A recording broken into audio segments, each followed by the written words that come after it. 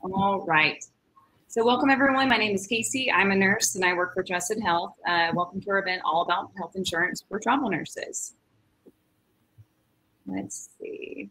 So thanks for joining us. I already talked about this, but please use the question function on the right-hand side. You'll find the chat section and go up to the Q&A button, click that and ask your question there. We are here to listen, learn, and connect and to get inspired to learn about options for healthcare as a travel nurse. We have quite uh, an extensive we're going to talk about terminology, insurance through the, the, nursing agency, healthcare alternatives outside the nursing agency, coverage between contracts and COBRA, and resources. And to kick it off, I'd love to introduce you to our first host of this evening, Miss Lynn Frair. Hi, guys. I am a nurse. I'm also the founder of fihealthcare.com, which is the nation's largest uh, crowdsourced database of options for healthcare outside of work, traditional employment. It was really designed for the early retiree community. I became work optional in my late 30s, and so I was trying to figure out what we would do for healthcare. And uh, it got to be well known. And so I've been featured on the Wall Street Journal. MarketWatch has made a documentary about me. I'm a very financially savvy nurse who started investing when I was 12 uh, lost it all, lost all my investments in my late 20s because I had a brain tumor, had to learn how to walk again, had to navigate medical bills. So I got really passionate about understanding medical bills, billing, costs from the inside and from the outside. Um, my husband is a chef. I'm very lucky because I don't know how to cook at all and haven't had to learn uh, because he's so great. And two little girls, six and seven. And that's been really interesting in the pandemic with 42 Zoom meetings a week for those two.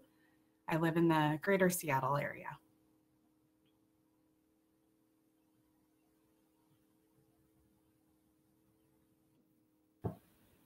Miss Megan Burns. Hi, everyone. Uh, so great and excited to talk about benefits today. It's obviously a passion um, and so important to understand. Um, my name is Megan Burns, like Casey mentioned. I am Trusted Health's client service manager here at Sequoia Consulting. Um, so we're their brokerage partner. We help set up um, all of their benefit plans. Um, we partner with their carriers. Uh, we partner with Trusted to implement uh, all of the plan administration and then any types of service or claims questions that come in. Uh, I live in the Bay Area, San Francisco, uh, right on the corner of Haight and Ashbury anyone's ever been in the neighborhood. Uh, but I'm currently in South Carolina visiting my family um, and had a really great 4th of July uh, at the ocean this past weekend. So, yeah, really excited to uh, be here today and listen to any questions you have. So, thanks for having me. Of course. Thanks, Megan. So, um, I'm going to hand it off to Lynn just so everyone's aware. We're going to start off with Lynn's presentation um, and do a Q&A with a short Q&A with Lynn. And then we will pass it off to Megan, who will talk about specifically Trusted's benefits and have um, you all the opportunity to ask her questions as well. So I am going to pass it off to Miss Lynn. All right. This is a disclaimer that says I'm basically not a legitimate anything with health insurance. I am, there's lots of folks out there who are and they would be happy to sell you products. I am a nurse, I'm a fellow nurse who wants to figure out this solution because I am financially geeky and early work optional. People come to me because of the website that I own. And so I crowdsource information for others. So, it, you know, seek the advice of a licensed professional. Um, but I am essentially a financially savvy nurse. And so that's my disclaimer to tell you that.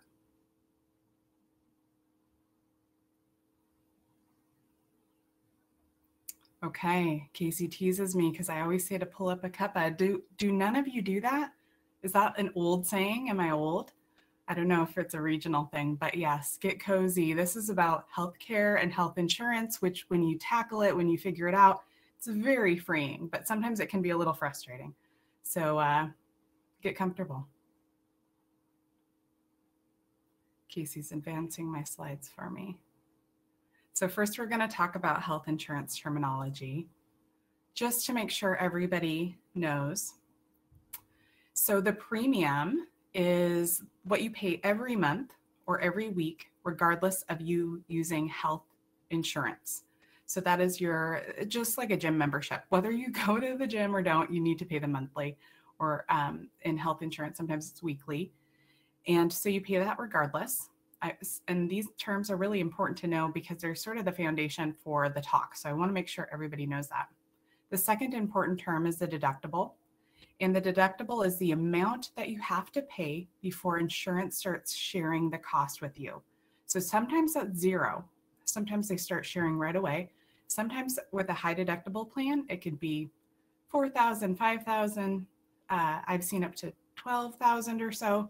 It really, really varies, but basically you're self-insuring before uh, health insurance will actually start to pay with you.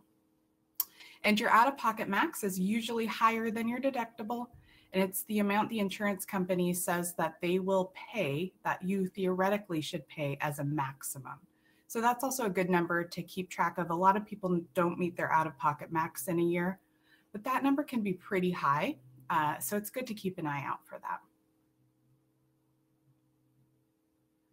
So the first thing, the, the things I want to talk about are health insurance through a nurse staffing agency and then health insurance outside or healthcare outside of the nursing agency.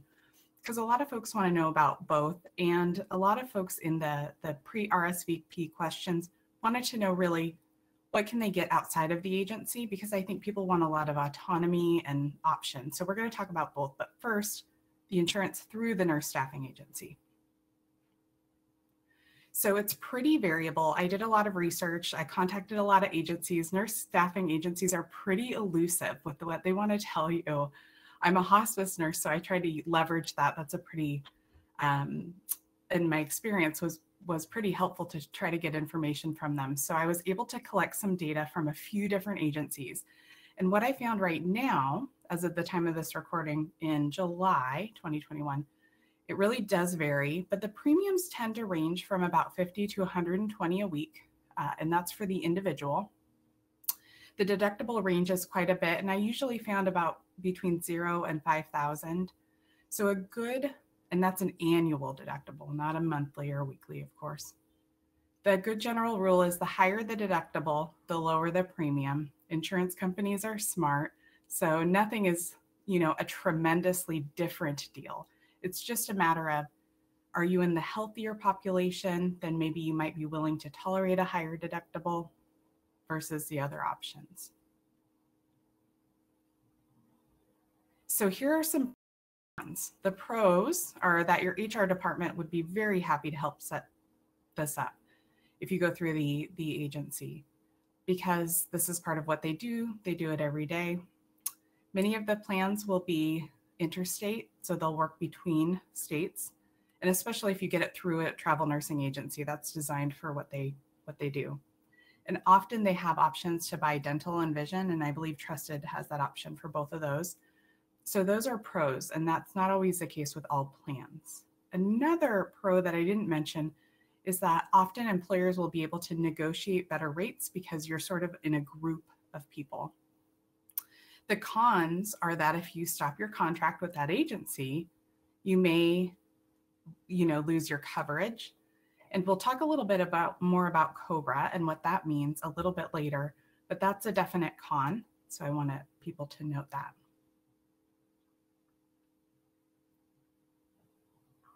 Okay, so now I think this is what a lot of people want to know. Health insurance outside of nursing agencies. And what's really nice is the website I developed was for early retirees, but it's really the same problem. It's how do you navigate health insurance, healthcare costs when you're not linked to a particular employer? So, one of the ways you can do that is you can work with a broker and you can get that by usually they're sort of regional um, and they will cover a certain area and they can help decide what plans are available to you. So they're customized to your particular situation. That's a pro, and they may have access to many different options in dental and vision. The cons are that a lot of times brokers will only work in certain geographic areas, and they may not have action or access to all the options. And of course, because they are getting paid, they will have some sort of intrinsic bias. Another option for getting health care outside of an employer, this is an alternative to health insurance. It's not technically health insurance. It's called a health sharing ministry. And basically, it is a pool of people who pool their money. It's almost considered a donation. It has kind of strict criteria for qualifying, and so you can be excluded for a pre-existing condition. It excludes a lot of things that are that might be for some of the religious health sharing ministries considered sinful. Um, I'm smiling because one of my friends said I, I recommended health sharing ministry as a layer for her healthcare, and she said she was too sinful to do that. Um, so I think it can be an option for a lot of folks or as a layer on top of what they're already doing. So the pros are lower monthly cost. They do not specifically have a network. There's coverage doesn't change, you know, between your your contracts. The cons are that they have a lifetime cap often. They're not technically insurance. And there are exclusions uh, as well as prepaying. So let me talk a little bit more about health sharing ministries in general. So that's things like MediShare, Liberty Health Share are the two most common that I hear on the more religious side. And then Sedera is another one that I hear more on the non religious side. And on my website, which is fihealthcare.com, if you go in the knowledge base, I outline all of the pros and cons. And so if you really end up thinking about those, I really would like you to take a look at all those. Later on in the talk, I'll, I'll tell you how to get into my knowledge base so you can take a look at this. So this is this may seem obvious, but going on a spouse's plan is what a lot of travel nurses do um, because a lot of folks are married. You know, certainly this isn't the case for everybody. And sometimes the cost of their health care may not be great on the spouse's plan, but it may make sense so that you can have the portability. So the pros are that it can be favorable because the employers usually cover the cost uh, at least somewhat. It may be flexible, but you'll have to check with your plan. And the cons are that it may not have the same coverage outside of your state. So again, check with your plan, but this is an option that I see for a lot of folks. But again, it isn't for everybody. You know, not everybody's eligible.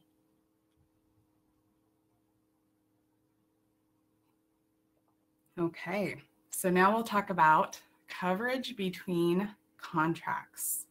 This is what a lot of folks want to know. So one of the things that you can do, of course, I'm going to state the obvious, is start a new contract that offers health care, health insurance, and see when their eligibility date is. Is it date of, if you're starting with a new company, is it date of hire? Um, if you're staying with the same company, how long do you have between them?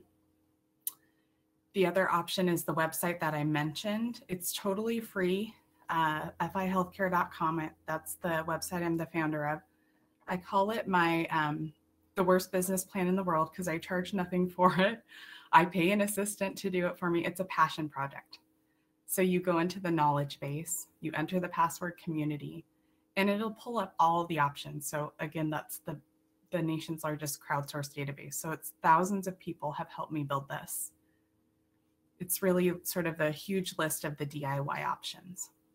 Um, so health sharing ministries are also an option for kind of a layer of support between contracts for those who are interested in it and can qualify. And then COBRA. COBRA is the Consolidated Omnibus Budget Reconciliation Act, which is just a bunch of words for keeping your existing coverage. So, your health insurance that you have, you're entitled to keep it, uh, in most cases, 18 months and sometimes a little bit longer as long as you pick up the cost that the employer pays. So if you pay whatever premiums you were paying, you start paying whatever the employer was paying, usually like a 2% administrative fee, then you can keep your existing coverage, which in some cases for travel nurses is a really good fit.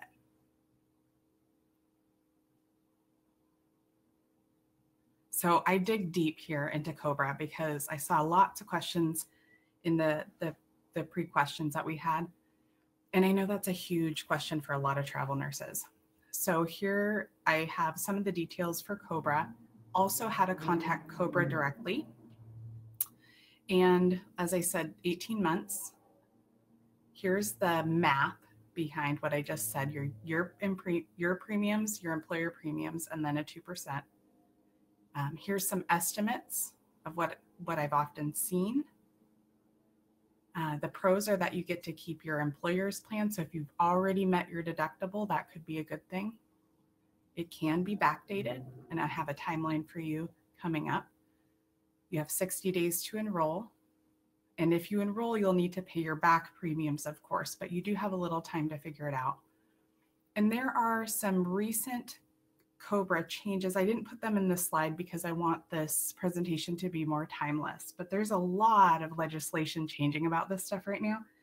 And COBRA has allowed for some folks to have free premiums through September 30th right now is the, the information I have. Megan can hop in if she disagrees with that. We also have general open enrollment um, for a marketplace plan, which is just when you go to healthcare.gov that is, I think, until August 15th this year, 2021. But back to Cobra, if you, Megan unmuted, do you have anything to, to add or clarify? Yeah, I definitely would. So, um, yes, if you, in terms of the free or subsidized COBRA premium um, through September 30th, um, that was an update uh, uh, handed down through ARPA. Um, so if you are looking at your uh, COBRA vendor site, you do want to learn more about ARPA, you can search whichever vendor um, you're currently with. Uh, it is for involuntary terminations only. So if you're ending an assignment, it's of your choice. Um, this subsidy wouldn't be applicable for you. Um, but if you were involuntarily terminated for any reason, um, you would have um, uh, access to this type of subsidy. Megan, does it also uh, apply for folks who have had reduced hours? It does, as long as the reduced hours were also uh, involuntarily made. Mm-hmm. Oh, okay. Yeah, yeah, that would make sense. Perfect. Thank you. Sure. Go ahead, Casey. Oh, I see somebody in chat said that they contacted Cobra and made her, the rate made Adrian's head explode. Yeah, the it is really interesting or frustrating to find out what your actual rate is without employer help. Uh, because usually employers cover like 84% of the cost. So when you see the full cost of your health plan, it's really can be startling. And so that's why I definitely recommend if you're thinking about Cobra to take a look and get the estimates, uh, what it will actually be for you. So, okay, please call. Yeah, yeah. I'm looking at comments. I, I'm seeing a little something about um, Megan's audio. I do hear Megan's audio. Are you guys able to hear my audio fine? Is it just Megan's occasionally? Thumbs up. Okay. All right. Hearing any audio issues issues on my end. Just a little side note. Um, if you're not hearing one of our speakers, try signing out of the event and logging back on using Chrome. Chrome browser is the most uh, is the most compatible with this platform. Mm, that's good. To Great. So here's more about Cobra, and you know, in a lot of cases, this isn't going to make sense, but I do want you guys to know this because I think this can be a good sort of backup, temporary, perhaps short term, because it sort of can catch you if you don't have a better option. So again, I include the, the COBRA office number that you can call directly. I've always found them to be very helpful because I always ask them and Casey and Nicole know I dig deep with my questions. So they're a great resource and things are changing a lot right now in legislation. So here's the timeline. So 14 days after employment ends, uh, you're supposed to be getting a letter sent that offers you COBRA. So I think the 14 day requirement is that when they have to send the letter, not necessarily when you receive it. Um, and then after I go through this, I'll have Megan pop in because she's actually an insurance expert. I'm just an insurance geek nurse. Then 60 days you have to send back to opt in for COBRA coverage. So you do have a bit of time to see do I have another contract going on? It's it's really great I think that they give you time to figure out do you have a better option first and then you can backdate. And then 45 days after you opt in. So you have, you know, 14 days and 60 days, but 45 days after you opt in, uh, you have until you make your payment. If you miss your payment, I believe that makes you ineligible um, for COBRA coverage. Megan, do you have anything to add there? I do, um, which probably complicates things a little bit further. So, uh, what Lynn is walking you through right now, I would say, is our normal pre pandemic timeline. Um, obviously, um, employees and you know people are just experiencing um, uh, different uh, impacts related to COVID. And so the IRS has allowed for additional time periods um, to make elections as well as to submit your premium. Uh, best practice is always to follow these standard timelines um, because eventually the government will decide when the outbreak period is over and they'll revert back to this. Um, but just know that if, if you didn't uh, meet the standard timeline, so the 60 days or the 45 days after election to make payment. Um, if you are still interested, strongly encourage you to reach out to that COBRA vendor um, because they will most likely allow for the exception um, while we're uh, within this pandemic. So uh, it's the only other tidbit I'd add there, Lynn. Yeah, that's great. That that mm-hmm. complicates it, but in a good way for all of us. So that's really great. Uh, there's a question in chat that I think maybe maybe Megan might know. Out of curiosity, does COBRA matter from state to state? Is there any issue regarding coverage moving from location to location? So, yes, and that's a pretty uh, big question. So, if the employer that you're working for um, qualifies for federal COBRA, then it shouldn't matter. And if the plan that you're on has national coverage, so so a PPO, um, or even an EPO, it shouldn't matter. Um, if you're on an HMO plan, which is a health maintenance organization, usually those types of coverage only offer in network care um, for preventative types of services. Um, emergency care you can always access nationwide. Um, but the good news is, if you ever do move, best practice would be to reach out to the COBRA vendor, share that you're moving, um, because that could potentially be a qualifying life event if you have some sort of loss of coverage. And they'll be able to help make sure that you move into a plan um, that will still provide access um, and comprehensive coverage for you. Um, I should add, if, if you're working for a travel agents, uh, travel nursing agency potentially um, that is not uh, required to offer federal COBRA, there are state COBRA options as well. So California has state COBRA, New York has state COBRA. And so um, at any point in time, if you are moving to COBRA, um, you do have questions with the current travel nursing agency you're with um, definitely just encourage you to reach out to their HR team, their benefits team, um, so that you can understand the specifics of the continuation for your uh, specific plan. Thank you, Megan. And for those of you who don't already know, we're very lucky in that we've negotiated for Megan to stay after and answer some questions specifically on this. So for folks who want to, she'll answer what she can. There will be things that are probably going to be individual specific that she may not be able to, of course. Uh, but that's we're very fortunate to have been able to set that up. So, all right, Casey. So this is just some random resources that I found. I probably have read a thousand articles. I've talked to hundreds, now thousands of people. And so here are some random, well, not random, they're very well organized resources that other travel nurses have found very helpful while they're traveling, whether you have health insurance or not. And so I wanted you guys to have these.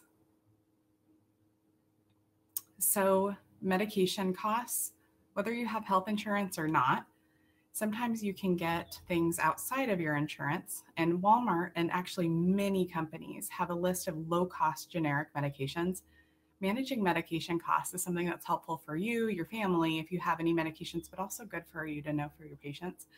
Um, and so Walmart has a very extensive list of generics, and they're all over the country. GoodRx is an app that will compare medication costs for all these different areas. So as you're traveling throughout the country and you want to compare medication costs for different um, places, Walmart or Target, sometimes there's a huge disparity in cost. You know, pharmacies can charge all sorts of things. So that is an app that I've gotten feedback from a lot of travel nurses has been very, very helpful. And then this is a financial assistance tool I heard from another travel nurse and I really liked it. So if you have a specific condition that's really expensive medications, this medicineassistancetool.org will take you to this list, this comprehensive database of options. So again, this is a resource helpful for travel nurses, your families, if you guys have specific conditions that might be expensive to manage, and or your patients. Okay, there, and this is virtual care, and I'm thrilled that with the pandemic has helped us get a little bit more involved with virtual care. Mm, virtual care is not always going to work great, and there's lots of telehealth type options. The one that I hear most often in the travel community is telecare.com. And there's no insurance needed. You don't have to have any insurance, and you can call them right when you're sick. They are remote. So as long as you have access to Wi Fi, then you can access them. It might be helpful if you have a high deductible plan and you know you're going to have to cover the cost anyway. Uh, it has mental health, and we know nurses have higher incidence of depression than the general population. And that was before COVID. So I'm a really big advocate of nurses having access to mental health resources wherever they are. It is 24 7, and you can add your family. So if you're traveling with your family, to access them. I've also heard about Teladoc. Anybody else who's had experience with virtual care, I wouldn't mind if you put it in the chat if you've used them, if you like them, so we can kind of see. But I love this concept. So here are some of my favorite Facebook groups because what's going to happen is you're trying to figure out, well, what am I going to do in my specific situation? And luckily, I know the best groups to ask questions. And I really like Gypsy Nurse Network. It's a huge, huge Facebook group and a lot of nurses that I, I'd call them spicy. It's it's pretty entertaining actually and really informative. And there's a lot of health insurance and healthcare threads in there. People drop in there who they've used uh, to get health insurance, so they're brokers. And I really, really like it. I think it might be a good resource for for you folks. I also really like harnessing healthcare. And that is a newly started group by this woman I know and adore because she's so good at drilling down to specifics about what do you do about healthcare? What do you do when you're traveling? What do you do? What is Cobra? How does that work? Um, and she's absolutely incredible. I wonder if she's in the audience. She may be, um, Kristen. So, yeah, wonderful group. It's not specific for nurses, it's specific for understanding healthcare, and it's fantastic. I also really like the group Women's Personal Finance, also called Women on Fire, which stands for Financial Independence Retire Early. I'm part of a group that we're big fans of having the option to work or not work. And it seems crazy, but there's a lot of folks that are in their 20s and 30s who've designed a life that's work optional. And so it's a really group, smart, really smart group of women who talk about all sorts of things related to finance, and healthcare comes up quite a bit. And then, of course, Trusted Health has a Facebook group, and I just saw, um, you know, a lot of our folks that work for Trusted are on there monitoring and doing a great job supporting folks. Oh, it's called The Modern Nurse. Thanks, Casey. Um, yes, so that's also a great resource in general. Okay, so here's what I think you should do in general. So decide if you want to go with an agency or if you want to try to DIY or do some sort of alternative. So we talked about the pros and cons of both of that. And then once you decide that, kind of figure out what you want to do, what you will do between contracts. Will that be Cobra? Will that be, do you have a spouse? You can be on their plan. Do you, um, are you willing to try a health sharing ministry? What are the different options that you'd like to do? And again, I'm going to say this a million times, but health sharing ministries, so many pros, So many cons. John Oliver just did a, a skit on that. Did anybody see that? Drop it in the comments. It was scathing of health sharing ministries. And I I have such mixed feelings about it. Yeah. Uh, Casey saw it because there's so many pros and so many cons. So again, I'd love it if you guys are really considering health sharing ministries to go on my site and look at all the cons and the pros before you actually sign up for one. Yeah, it's it's entertaining and and uh, scathing. But what was great is that he brought up a bunch of cons, and I had already listed all of them, uh, just because I'd talked to so many folks about this. So decide what you'll do between contracts, plan for costs in your budget, and also in negotiations. So if your travel agency is not paying for your health care, I don't, there may be times where you may be able to negotiate um, a cost or a raise or some other benefit because you're costing them less in other ways. So sometimes that's possible, sometimes it's not. Uh, so so it's important. Is there a link? Okay, and then join Facebook groups. So that is tremendously important to have the amount of support around you because each person's situation is going to be individual. The healthcare landscape is tremendously dynamic, and that's going to be really, really important. One, one other thing that I should mention is that the general plan for if you want to get health insurance um, outside of traditional employment, if you want to look at your own health insurance for your state, and I know that you're going to be traveling, so this is a little bit tricky, but I really like what they recommend is healthcare.gov. That's the government site, and that's fine. But what I like really is Health Sherpa.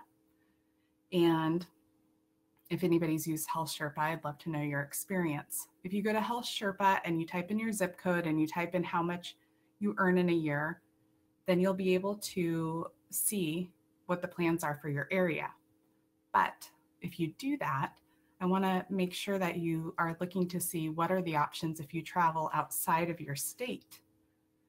And you'll have to dig into that because the ACA, the Affordable Care Act, does not do well at covering things that are not emergencies. So that's one of the reasons why it can be a little trickier as a travel nurse to kind of find it on your own without using a broker to help you because the ACA really um, has been great in a lot of ways, but the for the travel community, unless you have an emergency, the coverage is not always great. There's a question about when you enter your income, do you only enter taxable income? I think they say annual income, so I don't know that they specify taxable or not taxable. So I think you could use your judgment. What they're probably wanting is your AGI, your adjusted gross income. All right. And now I left uh, an extensive period of time for questions because I, I do these kind of talks a lot and there's always a lot, a lot of questions, or I shouldn't say always, but often there is. So I wanted to allow time for that. And I wasn't able to track all the questions as we went through and presented. So if you saw any Casey that I missed, we could start with that, but please feel free to drop in the box and Megan can join me when it starts to get real Cobra specific or real insurance specific. Absolutely. So Lynn, and I realized I didn't start the uh, Q&A when I was telling people where to find it. So that is my fault. I take full hmm. responsibility. Mm. But if you look over on the right hand side, you're going to go up to Q&A and click on that. And that's where the questions are. So I can read those out to you so you don't feel like you're talking to yourself a little bit. But um, I'm just going to say that if there's any questions specific to trusted in particular, then uh, we will leave that for Megan to answer uh, a little bit later on. Like I said, we'll, we'll cover more of the general questions right now for Lynn. Um, but we'll go ahead and start with Mr. Daniel. Um, is there a minimum number of hours or assignments that is needed to be on a travel agency's plan? Hmm. I may, you know, I don't know the answer to that, but I'm what makes logical sense and maybe Megan can can answer this, but what makes logical sense to me is they would want you to work close to full time, which is usually considered 32 hours a week or more. But I'd love to hear Megan's thoughts. Yeah, I can definitely chime in. And um, so, Trusted specifically has a 30 hour minimum.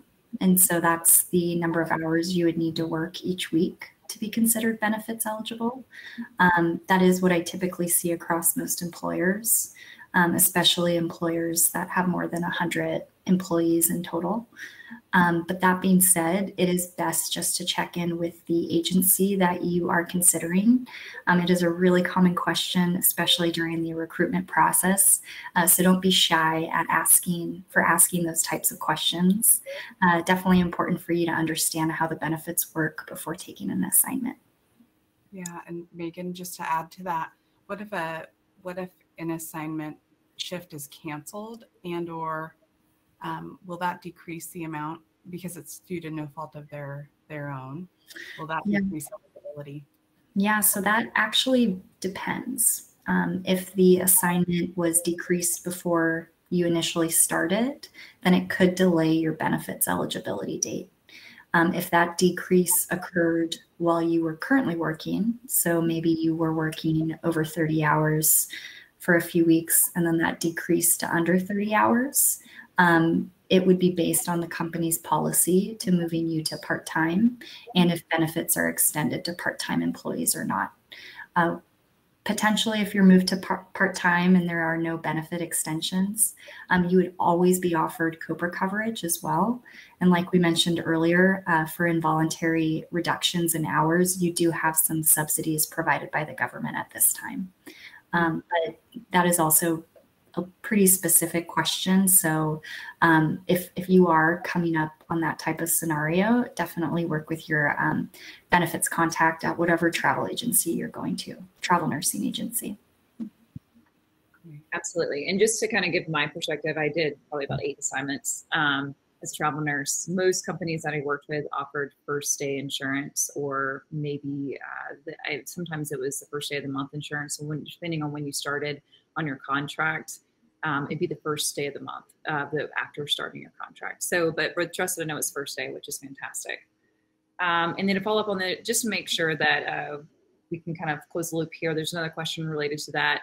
Um, if it's 30 hours per week, is there a minimum number of weeks that is needed per year or assignment? I've never seen a minimum number of weeks, but Megan, you might, yeah, okay. So it is based on weekly hours, so no no minimum. Okay, awesome, perfect. Mm-hmm. Um, there's two I feel like we can kind of knock out in uh, one question. Is preventative care um, and pharmacy coverage um, usually offered when taking the agency's insurance? Is preventative care and coverage? Is that the yeah. question? Are they both covered when taking? Yeah. What I what I can tell you in working with lots of people is anecdotally, usually preventative care is on most plans. That was part of the ACA. So the Affordable Care Act has 10 major components that it asked for for plans. And now there are some plans that are considered ACA non compliant, but most plans will cover preventative care that I've seen. Um, and also some pharmacy coverage, but it won't always be the medications that you're necessarily on. So that's something that I would definitely check on, especially if it's a more expensive medication. And we used to, I think Health Sherpa still has it, but there are sometimes um, aggregators that'll tell you what plans outside of a of a nursing agency tell you what sort of plans cover what medications as well. But I'd like to also see what Megan has to say about trusted citizen. Sure. Yeah, I would love to. Um, so, uh, preventative care is absolutely covered at 100% on trusted plans, um, as well as pharmacy options. Um, so, depending on if you're enrolled in a high deductible health plan, you may pay the full cost of the medication until you reach that deductible. Um, or if you choose one of the PPO options, um, there are copays for those types of coverage. So, um, kind of best practice across the board if you are transitioning companies and you are on a medication you know is um, pretty expensive, um, definitely let your uh, medical provider know that you're transitioning coverage because many times carriers require what they call pre authorizations for certain types of medications. And so, a great way to avoid um, maybe maybe hitting costs um, is to get that pre-authorization in early uh, so that you know it's covered and you can make payments based on how your medical plan is structured rather than paying for the full cost. So wanted to add that in as well. It's something I've learned over the years. It's really beneficial. So definitely keep your primary care provider updated uh, as you make changes, and you know don't be afraid to reach out to the carriers as well to make sure that um, you have your ducks in a row uh, if you do have a more expensive prescription drug that you're taking. Absolutely. I was actually just talking to our community ambassadors, and we're talking about all the adulting things people need to know before going into travel nursing, and that was one of the topics. Mm-hmm. Um, there's a lot of things logistically that it's nice to have your ducks in a row before you leave for your assignment, for sure, and that's definitely one of them. Um, let's see. Uh, Sarah Cross asked, is it possible to ask companies how much they pay for our insurance to gauge how much our cost will be? Can you say that again? I missed a little of the audio. Yeah, I think there's a motorcycle outside my apartment. Y'all can hear that or not. Um, is it possible to ask companies how much they pay for our insurance to gauge how much our cost will be? I think you, my opinion is you can ask them. I think it may be difficult to get a straight answer. That's been my experience. You know, it's really interesting when you negotiate things because um, really what makes sense is that the agency wants to get you to work and often it doesn't really matter how much the bottom line is you know like when you buy a car sometimes there's these things that you care about and things that you don't care about the same with starting with any agency and if you can negotiate there's certain elements that you don't need and certain elements you do that um, a lot of it can be negotiated and you should certainly asked. I think anybody who's in HR is used to being asked these questions, and I think they're very reasonable because you're trying to figure out does this make sense? Um, is this something that's going to work for my family? So I really encourage folks to ask and to advocate and to ask those questions, and they may or may not answer them, but I think it's worth asking. Do you have anything to add there, Megan, as far as um, trusted in our policies with it? Yeah, I do think um, knowing what benefit what the benefits are available is very important a part of the um, recruitment process. Um, I'm not as familiar with what Trusted uh, provides to potential recruits, um, but there are really great benefit guides available. So definitely encourage you to ask. Mm-hmm. Okay, yeah. perfect. And I want go ahead, Casey. Oh, you're muted. I said, I know Zach, our HR representative here at Trusted, is going to be joining us in just a few minutes, so I can we can ask him that again later too, kind of what information Trusted can provide up front. Um, well, great timing, Casey, because I connected with Zach to ask him what exactly I can share, and I have the sheet, um, and and basically, I'm just going to give you an overview. I didn't put it in the slides because we have to be careful and things change so often, but um, Trusted benefits tend to range from a deductible of zero to 450 or 4,500. And then the premium for the employee only is going to be a weekly premium that ranges from 43 to about 112 per week. But that's really in alignment with my slides that I already said that most agencies offer. Um, so it's not, it's, it's really within alignment of that. And uh, they have a dental PPO and a vision PPO. So, and people are going to want to know about spouse coverage and children coverage. I asked him about that. They do offer that, but the but it doesn't seem that trusted um, supplements the cost. So you would pretty much have to take on the cost of that. Oh, there's Zach. And that's about the extent of what I feel comfortable talking about anyway. So that's perfect. Hi, Zach. Hey, uh, yeah, happy to uh, to answer that. Talk a little bit about it. We are, you know, if you reach out to your, from a trusted perspective, at least your nurse advocate or care team. Um, they'll direct questions to us in HR, and, and we will share. You know, we, we, try to be as transparent as possible. Um, and like Lynn said, things do change, so that's why you don't see, and really any agency have or any company have rates posted anywhere. Um, but if you're considering trusted, we're, we're happy to share that with you and talk through benefits and even help connect, um, you know, even with Sequoia to make sure that certain things are covered under our benefits if, if you're if you're considering that too. So yeah, we try to be as transparent as possible and, and happy to answer any questions about benefits that you may have. so much, Zach. I know I wasn't planning on having you hop on this early, but I appreciate you. Yeah. Um, I, I, I was trying to the question separate, but it's so hard because everyone wants to know both at the same time, right?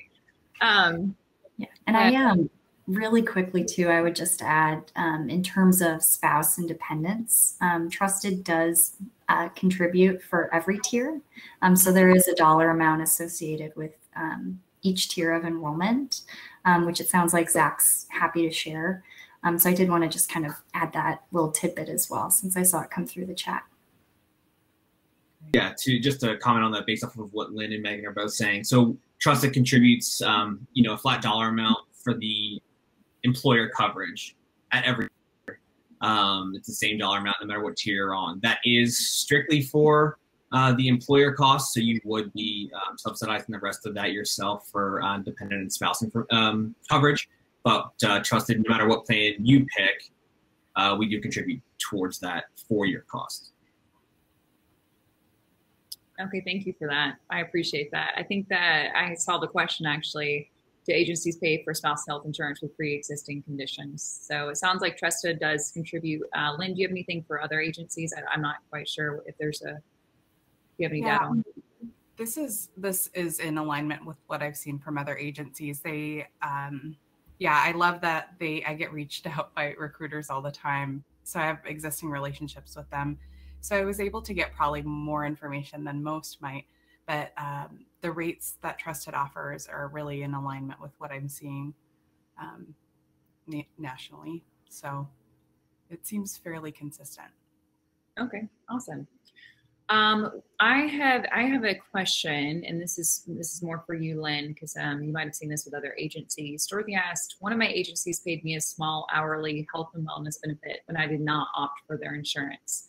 How common is it for an agency to pay the employee an amount when the employee has outside insurance? I did not see that as a travel nurse ever, so I'm curious to see if you've seen that. Well, I think that it's smart to negotiate that because if you're not, if if the travel agency isn't having to pay insurance for you, and and Megan and Zach can tell us if that's true or not, that's a it's a pretty good expense for them, and so you can, uh, that's probably what they do, maybe to entice folks um, but it's also kind of a fair thing to do and part of something that I think can be negotiated. So I don't know that that's super common. Maybe it, the thing with travel nursing is you you have your wages and you have all these benefits and it can be packaged in all these different ways, but really it's it's really um, essentially the same thing. So some agencies may add it to your hourly rate, for example and some agencies may add it to a travel stipend. And some of that's pre tax and some of that's post tax, but I think it comes packaged in a different way. And I what I like about Trusted is that it's more transparent, I think, than most agencies as far as there's not a lot of fluff offered. At least this is my impression, and Megan and Zach um, and Casey can also speak to this, but it's uh, more of a flat rate and fewer stipend type thing. So you have a clear view of what you're actually getting. Have you found that to be the case?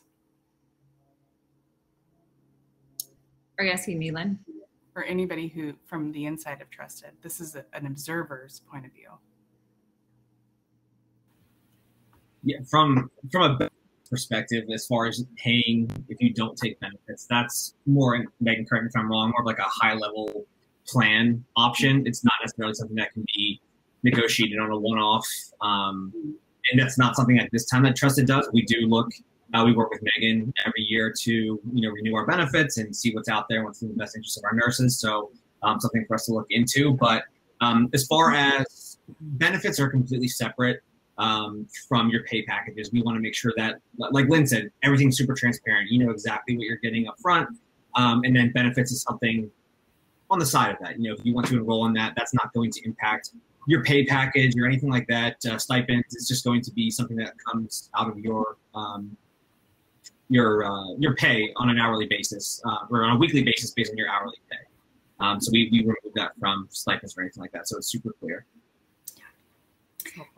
Yeah, and the only other thing I would add too is um, so that type of situation is called a waiver credit. And so if you're waiving medical, dental, and vision. Um, some companies may extend some sort of credit um, to your pay.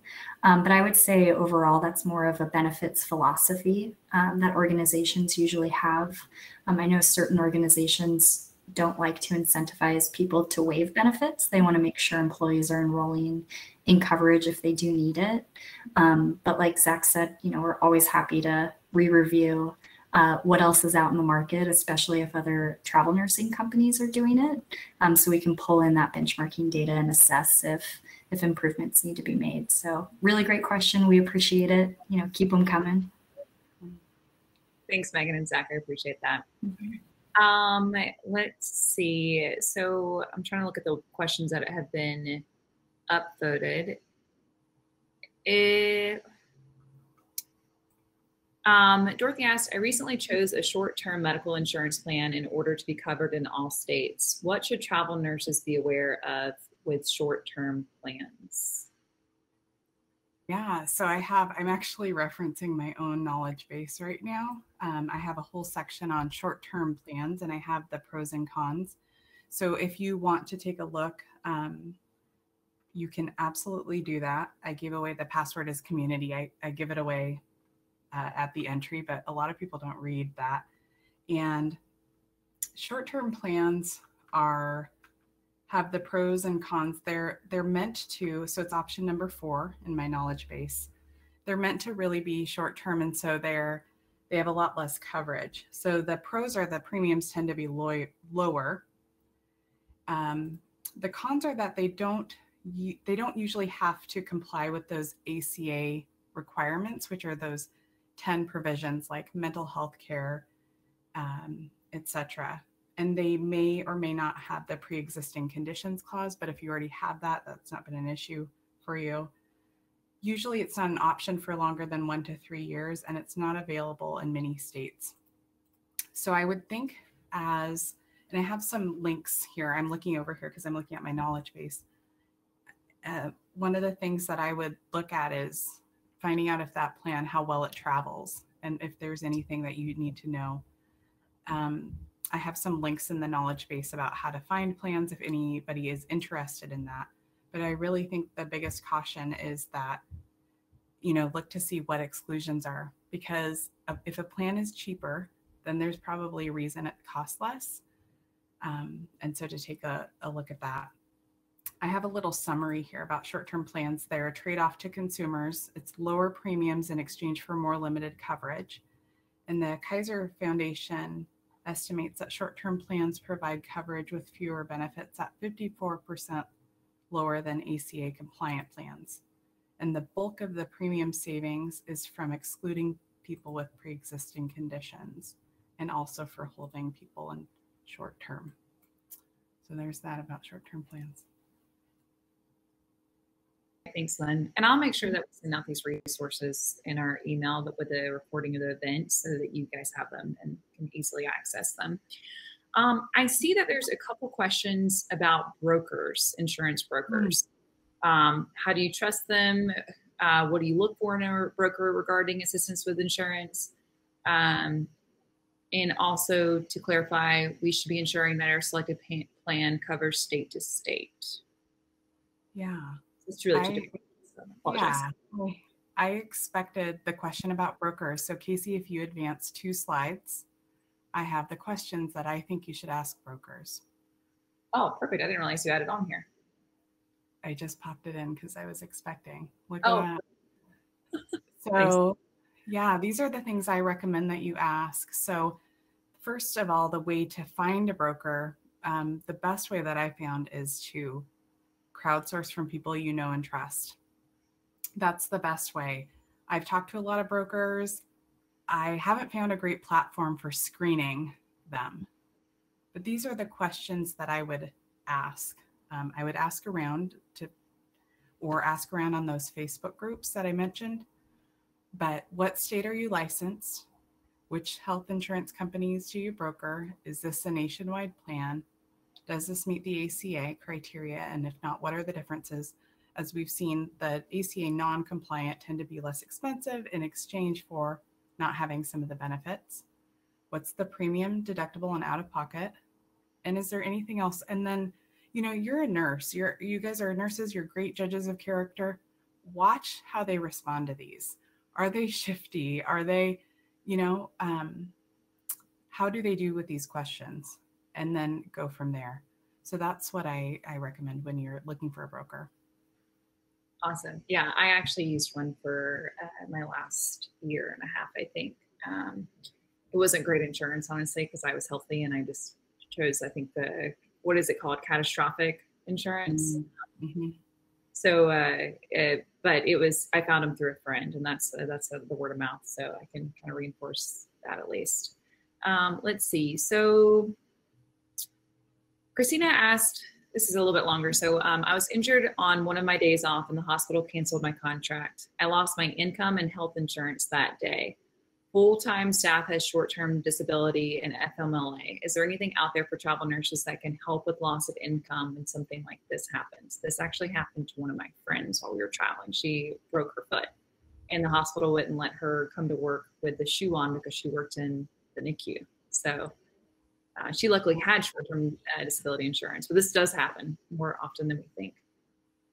So um, the question about the healthcare aspect of that. If you lose your role um, because of a qualifying event, and in this case, she's not able to physically work, she could qualify by looking at you know healthcare.gov to see what what insurance options would be available, and and if she's lost income, it may be subsidized at part of that cost um, because loss of income, loss of job may be considered the qualifying event.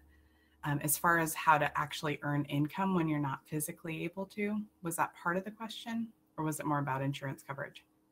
Um, it's also if there's anything out there that can help with the loss of income when something like that happens. Hmm. i'm happy to chime in too lynn.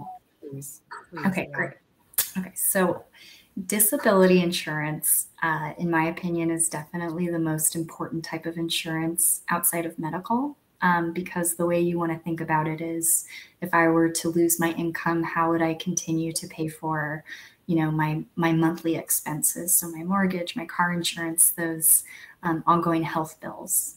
And so um, depending on what state you're in, you may already have state sponsored short term disability insurance. And so, as you're thinking about working with a broker, they will be able to educate you on what you're eligible for based on the state that you are working and or living in.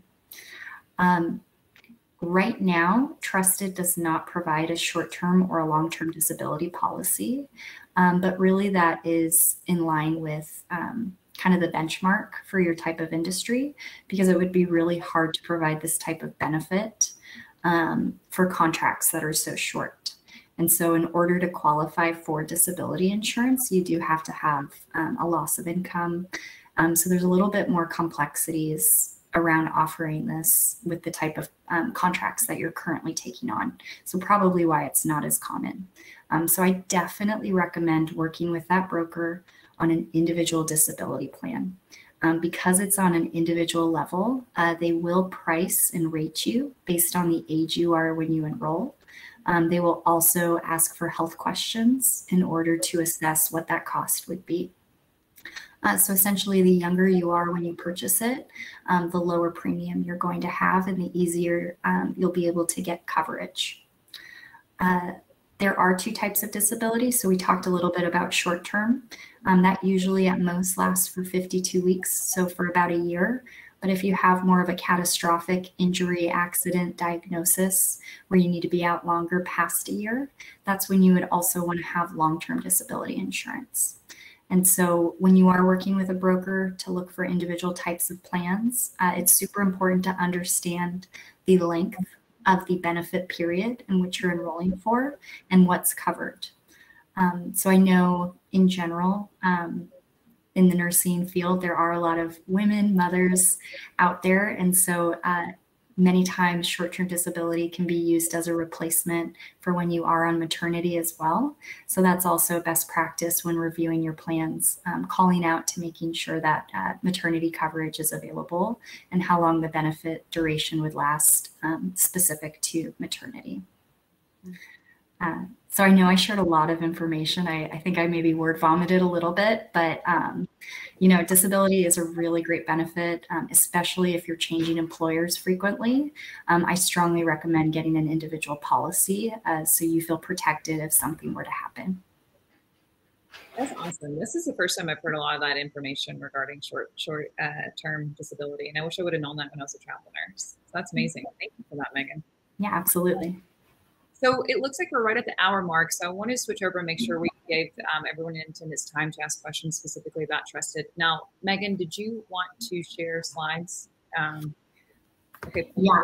Just, um, let me see. Uh, so um, I'm going to give a huge shout out to Lynn for hosting this first section, and I really appreciate it, Lynn. That was great information, and I really um, appreciate the time and effort you spent researching all that too, as well. Um, her information's right up here. I'm going to send out the slides with the recording after the event. So if you want to reach out to her, all of her information's right here. Um, but thank you so much, Lynn. Is there anything else you wanted to add? I know you'll probably stick around for the other questions, but just yeah, uh, yeah, I'll stick around and get another cup of coffee, um, even though it's four at night. but yeah, I just am grateful you guys uh, came. You spent your time. The replay will be available because I know that healthcare and health insurance is a lot to mentally metabolize. So I just appreciate and I appreciate Megan and Zach and Casey a lot for supplementing because I'm not I knew that I would not be able to deep dive into the aspects that HR and benefits coordinators do because it's from a, a nurse perspective who deep dives into this, but certainly not all experts. So thank you all. I'm gonna turn video off and we'll switch over to Megan. Perfect. Thank you so much, Lynn. Um, I think both perspectives are equally as important. So thank you. Um, all right. Well, I'm going to stop sharing, Megan, and I'm going to toss it over to you and let you share. All right. Let me know when you can see the screen. All right, perfect. So um, I did put together a few slides uh, in terms of uh, Trusted Health's benefits resources. Um, so I'll make sure to go through these pretty quickly. Um, so that we can save enough time uh, for questions at the end. I did see a couple more come through the chat. Um, but really, if you are taking a contract with Trusted, or maybe you're already an, an employee and you're on some plans, um, just know that um, you know Sequoia Consulting, as we work directly with Zach and his team on creating these benefits packages, we also want to help support you and your family members directly. And so there's a number of different resources available to you once you are enrolled on these plans, um, either beforehand or after to help uh, you navigate uh, through the insurance benefit programs. And so this slide is an overview of uh, all of those resources that I'm going to walk you through a little bit here today. And so first, uh, directly through Sequoia, you do have access to a mobile app um, so if you are on contract with Trusted, you can actually just search Sequoia Mobile in your app store today and download the app for free. Uh, essentially, once you log in with your uh, email address that's listed in ADP, uh, you'll be able to see real-time information about all of your benefits programs. Uh, probably the most important feature about the app is visibility for your member ID information. And so where we're at currently with Aetna, you will have to uh, add in your member ID information once you've logged in. Uh, but we are going through a couple technical updates and in the next few months that will actually pull through in real time. So no manual uh, data entry necessary. Uh, that essentially means for you that as you go into your primary care uh, doctor's office, um, as you go into the emergency room, your dental, your vision, uh, you'll have all the information at your fingertips on this app um, so that you can communicate and get, um, you know, any services you're looking to see um, effectively and efficiently. Uh, in addition to the mobile app, uh, you also have the ability to see your benefit booklets by visiting login.sequoia.com. Uh, also logging in with the email address you have listed in ADP to see all of your benefit plan information. Um, so that includes uh, benefit summaries, uh, a really great comparison tool, um, some of the well-being programs that I know we didn't talk about today that are still really great benefits to help support you with your mental health, your physical fitness, things like that. Um, and then this site also contains uh, what your monthly premium would be. So if you're curious what your contribution would be across any tier, any coverage, that is all visible and transparent uh, within the website as well. Uh, outside of these two programs, you also have access to ADP. So that is the system that you would make any of your benefit election changes in. Uh, carrier resources site strongly encourage you to at any point especially if you are traveling on the go um, to maybe look into downloading the carrier resources apps as well so i know Aetna has a really great app that allows you to um, see all information related to your claims activity your sbcs how much of the deductible you've met throughout the year so you can stay on track um, and understand the actual cost um, they also have a really great cost uh, calculator tool as well. So if you are going in for a service, you want to plug it into their calculator tool to understand what the out-of-pocket cost will be for you based on the plan you're enrolled in. Um, you can do so through Aetna's portal. Uh, you all met Zach today, maybe you've met him before, but your Trusted Health People team is also always available to answer any benefits question. Um, so you can reach them at hello at trustedhealth.com. Um, and then last but not least, in addition to the products Sequoia provides to all of our clients' employees, uh, you also have a dedicated Sequoia advocate. So just like I support Zach and team, you actually have access to benefit experts uh, directly um, that can answer any of your benefits questions. So I have a slide with more information on that that I'll, I'll touch in on in a minute. Again, uh, this is the mobile site that gives you unlimited information around your benefits and has some really great uh, plan comparison tools. This is a, a another slide on that uh, company benefits site, so that electronic booklet that has all of your plan details included with information on how to enroll. Uh, the employee advocate team, so I didn't dive into this too much, but um, at any point in time, either before you're enrolling, um, you know, if you are traveling and seeing a doctor, you just have questions about coverage, um, in network, out of network costs, or potentially if you received a bill that you don't necessarily agree with, um, we want you to reach out to us, let us know how we can help support you directly. Um, so you can call us uh, during regular business hours, which are 8.30 to 5 p.m. Pacific, Monday through Friday, or at any point you can shoot us over an email with whatever questions you have. Um, I will say the average uh, response time is about two to three hours, um, and we try to get all uh, requests responded to over email within 24 hours. Information about how to find in-network providers, always super important across your medical, dental, or your vision insurance. Um, I won't go through this in detail, but it is available uh, within your company benefits site and internally with Trusted's programs. Um, Teladoc, I know Lynn talked a little bit about virtual healthcare options earlier. Uh, so great news uh, through the trusted plans, you do have that uh, virtual assistance available as well. Uh, mail order prescription drugs. So we talked a little bit about best practices around uh, the cost of RX especially when you're transitioning, um, you know, companies. Uh, so mail order prescriptions is a way to uh, typically allow for you to get a larger supply at a lower cost. And so if you're ever considering mail order prescriptions, you're just going to let your um, medical provider know that you're interested so that they can submit the script for you in a way um, that allows for mail order to happen. Now, if you're changing uh, travel nursing companies and you have a mail order prescription in place, definitely make sure to get that updated with the new carrier. Um, so if that's trusted, it's going to be Aetna's carrier. If it's another company, uh, best practice is just to let your uh, physician know that you're changing medical plans and they need to resubmit for your mail order prescription. Uh, and then last but not least, uh, Trusted also has this app through Aetna. I know I talked a little bit about it uh, earlier in the conversation, but this is just a reminder slide with more information specific to what's available in the app, um, including information around COVID-19 uh, testing and resources uh, if you need additional support with that. So I know I ran through those pretty quickly. Um, I didn't want to bore you if you are not currently a trusted employee, and this deck is available internally for you to access at a later time. Um, so I'd love to transition to questions right now if that works for you, Casey.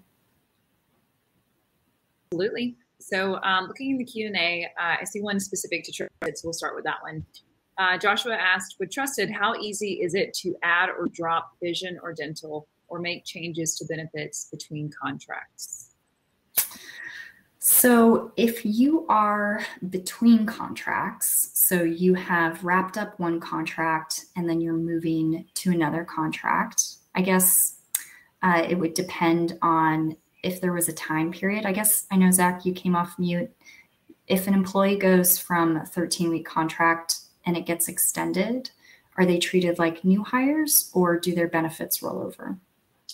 Yeah, so we have a couple different, depending on the scenarios. Um, so if you just sign an extension at your current assignment and there's no, well, no, you just sign an extension, um, you can make changes to your benefits at any time. That essentially for us is a qualifying life event. Um, so you can make those changes then. If you're between contracts, um, you can make changes. Like if you have another contract coming up, you'll be able, you'll receive essentially notification from Trusted letting you know that hey, your next contract starting, uh, please log into ADP and make any changes uh, that you would like to your benefit. So anytime you change contracts, you can make whatever changes you want. Uh, and that includes adding, dropping coverage, adding dependents, dropping dependents. Um, so very flexible. We try to make it as flexible as possible, including that um, qualifying life event. If you sign an extension, we do allow you to make changes at that time too. Great. Um, make sure I didn't miss any in the other chat. Um, Morgan asked, in between contracts, is the best way to go with healthcare.gov or stay with existing plan from agency through COBRA? Do you either of you have any insight there?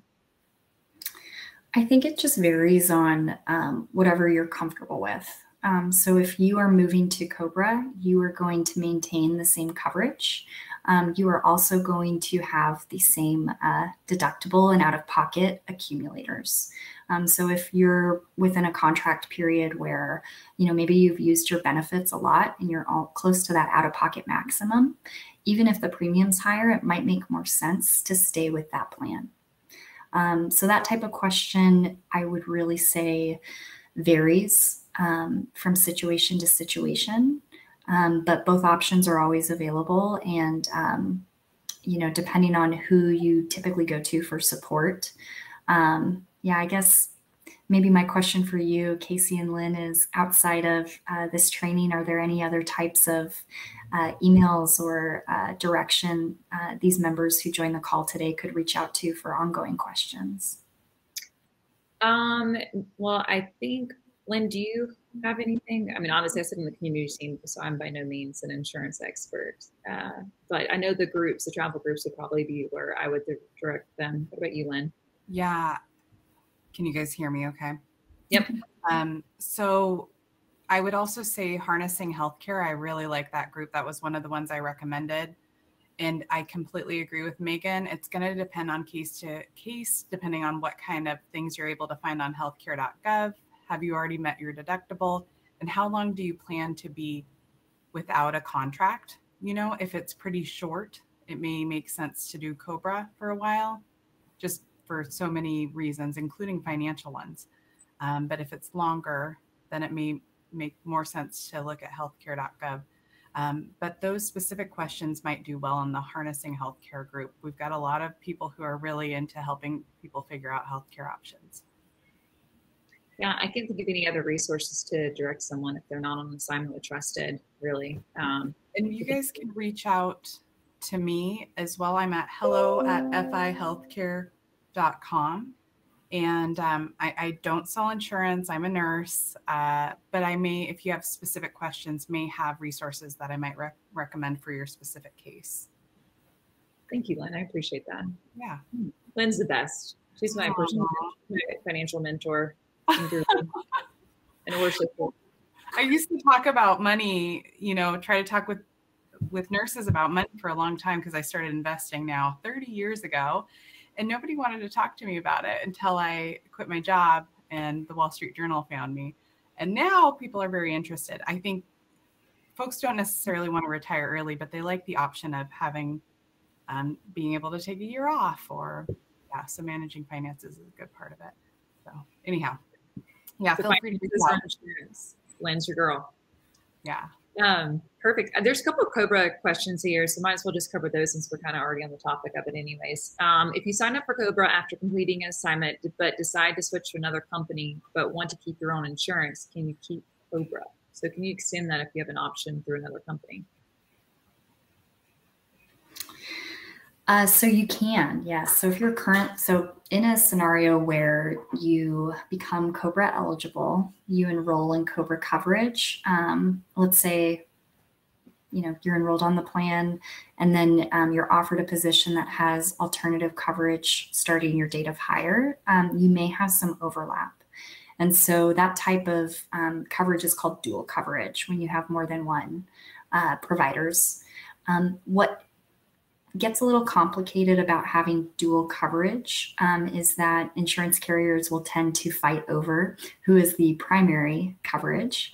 And so you would just want to be aware of who you're communicating your insurance with. Um, sometimes it works best um, telling your provider that you only have one, um, whichever insurance provider you think should be the primary. That way, all the benefits uh, get paid out, and then you can submit for your secondary. Um, but there are some complexities with doing that, um, especially since the primary isn't uh, quite as obvious since both coverages are through you. Um, additionally, if you're enrolled on COBRA, um, you're probably paying for uh, the cost of the healthcare insurance. And so um, you would want to weigh the option of paying that um, premium for multiple plans um, and if it's really needed. So uh, this is also a little bit of a complex question because um, I know Lynn talked a little bit earlier about the different types of plans available. So there's um, PPOs, preferred provider organizations, which gives you, gives you access um, to nationwide coverage. Uh, you, you can see specialty care on your own um, HMO, health maintenance organizations. That gives you access to only in network providers. Uh, so, Kaiser is a really good example if you're familiar with that type of um, health provider.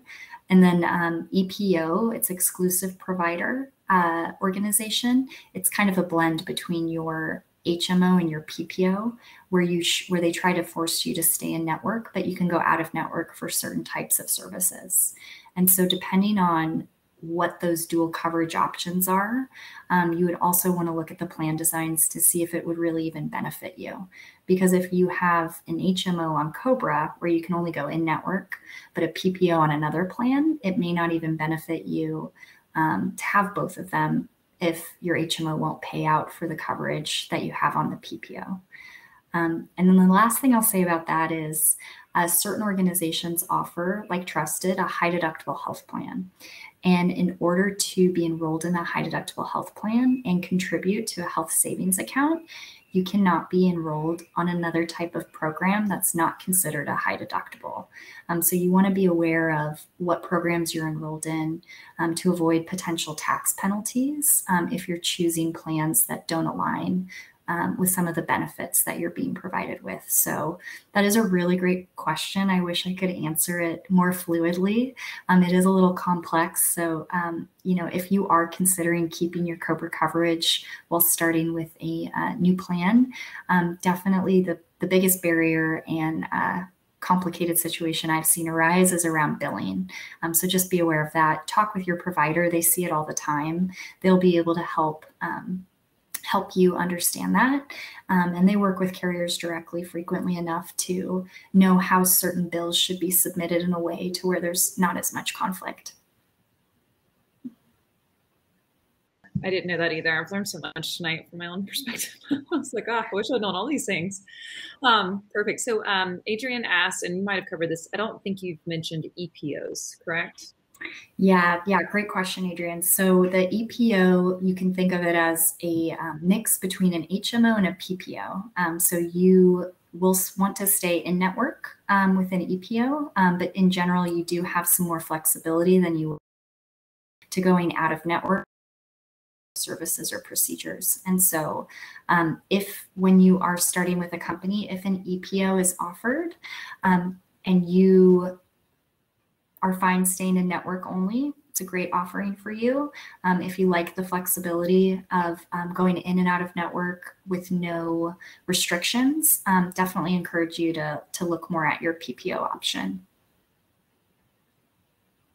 Mm-hmm. Um, so uh, Jennifer made a comment, and this might be a little bit more towards Lynn, but uh, she was looking at insurance options on healthcare.gov and noticed that no one covers metformin. Another thing she noticed is that most plans do not give the option of dental for children. Um, do you have any insight there, Lynn? Yeah, I have. So metformin tends to be fairly inexpensive medication. That is interesting that they would choose not to cover it because it's a very common, but it is an inexpensive. Um, and so if you were, I would recommend GoodRx to see uh, because you don't have coverage. Um, and hopefully you should find a very reasonably priced, but that that's is a shame. Um, and as far as dental for younger folks, um, I do see a lot of exclusions for vision and dental. Dental insurance doesn't tend to be super great in my experience. They'll have a cap of like 2000 or 3000 and then they'll only pay 50%. So oftentimes folks are better off private paying unless they know that they've got a big dental plan. But um, the question was really why isn't this offered and and I don't have a great answer for you. I don't know Megan or Zach if you know of dental outside of employers. I think you can you can private pay and buy your own plan, but I do see ex- it excluded quite a lot from a lot of plans. Yeah, so so I can speak about Trusted's dental program, um, and so uh, dependent coverage is included. Um, in terms of the annual maximums, uh, dental is interesting. I think the benchmark for company annual maximums is around a thousand um, dollars. So it's not that rich. Anything above and beyond that is uh, pretty great, honestly. Um, and then the way dental maximums work, it's actually a little counterintuitive because it's the opposite of medical insurance. Uh, so that annual maximum that you see is the most that um, you'll be covered. You'll be covered in any given um, plan year. Anything above and beyond that maximum, you're you're typically responsible for at 100% um, outside of preventative care. Um, dental insurance, I don't know the ins and the outs of what's available um, individually, um, but I do know many times dentists negotiate on care. Um, so you may be able to work with the dentist uh, directly on pricing. Um, just be transparent, let them know you don't have insurance. Uh, sometimes uh, providers, you know, increase costs on certain procedures because they know and understand what insurance providers will pay. And so if you share that you don't have insurance, they will they could potentially lower the actual cost for you. Um, so I've seen that happen in the past. Um, but uh, in terms of uh, Trusted's dental program, um, it's a it's a great program. Dependents are covered. Um, so sorry to hear that about uh, your 17 year old.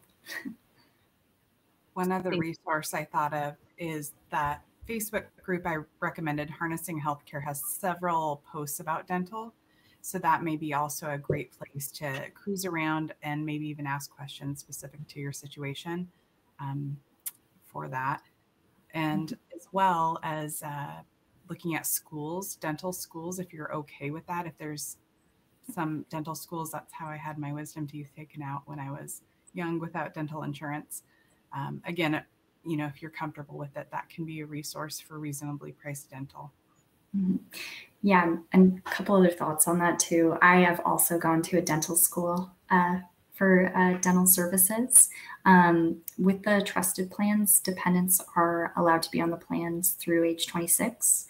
Um, if your 17 year old is going to start at a university, there may also be um, insurance available through the university. I know when I was in school, I signed up for um, the healthcare insurance provided through San Diego State, where I went. Um, and it was super beneficial. It was on site. Um, so there may be alternative options um, in the event that um, you know your child goes to some sort of university as well.